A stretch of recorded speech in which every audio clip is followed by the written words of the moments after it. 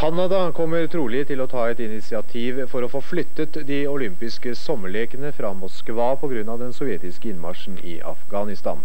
Den kanadiske statsministeren Joe Clark har allerede undersøkt muligheten for å legge arrangementet til Montreal, som hadde sommerlekene for fire år siden. Arbeidet med å få flyttet sommerlekene fra Moskva er ett av flere tiltak som Canada nå ønsker å sette i verk mot Sovjetunionen. Og dermed er vi framme ved kveldens siste værmelding.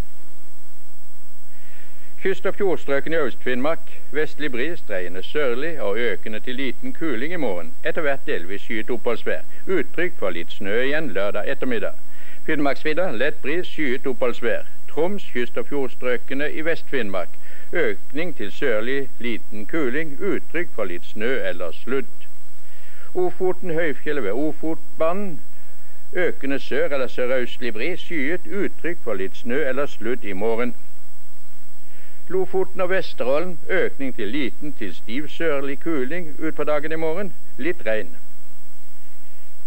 Helgeland, Saltfjell og Salten i morgen liten til stiv sørlig kuling på kysten. På ytre strøk litt sludd eller regn. På indre og midtre strøk overveiende oppholdsvær.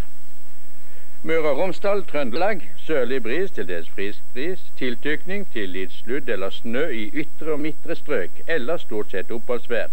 Lørdag ettermiddag og lørdag kveld økning til sørvest sterk kuling på kysten. Noe regn og sludd. Snø i indre strøk.